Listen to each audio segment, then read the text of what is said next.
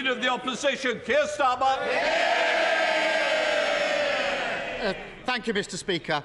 A book is being written about the Prime Minister's time in office. Apparently, it's going to be out by Christmas. Is that the release date or the title? Prime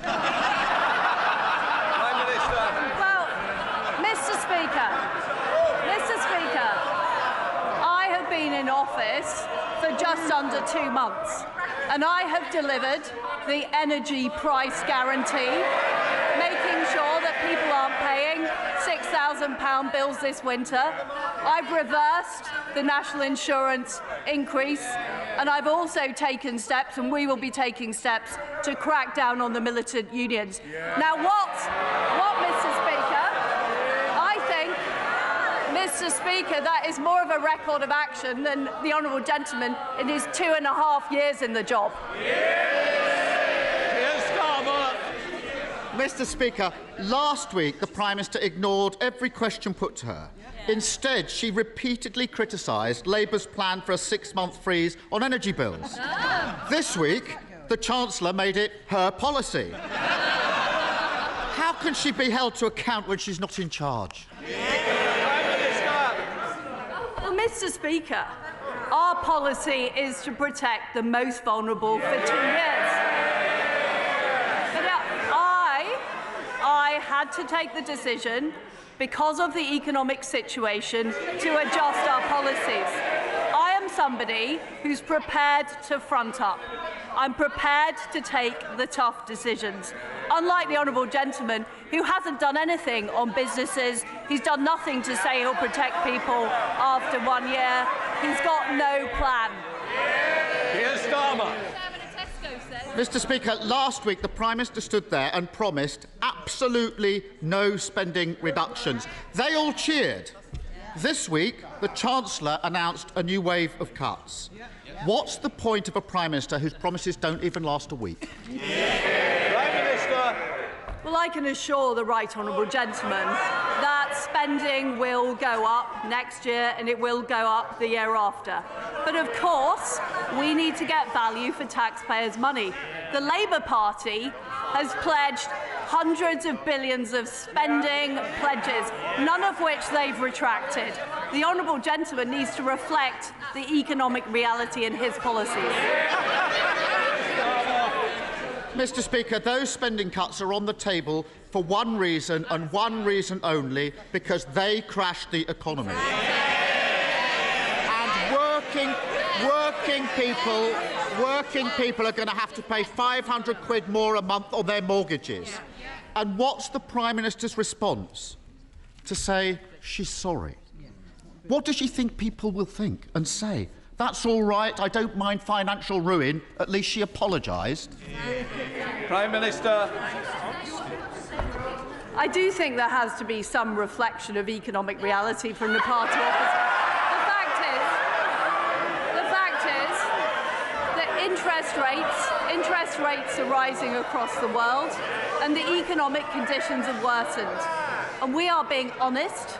We're levelling with the public, unlike the honourable gentleman who simply won't do it. And what is the honourable gentleman doing about the fact that workers, train workers, are again going on strike? The fact is, he refuses to condemn the workers. We are bringing forward policies.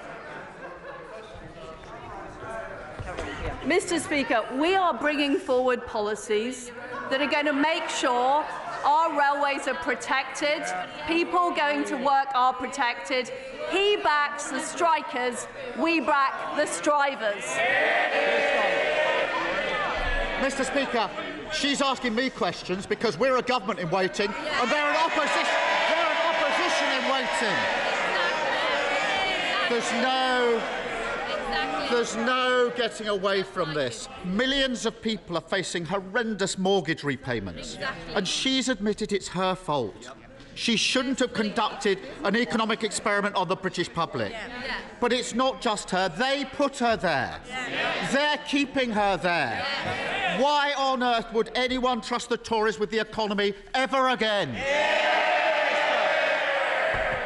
Notice, Mr. Speaker, he's not actually objecting to a single economic policy that the Chancellor announced on Monday.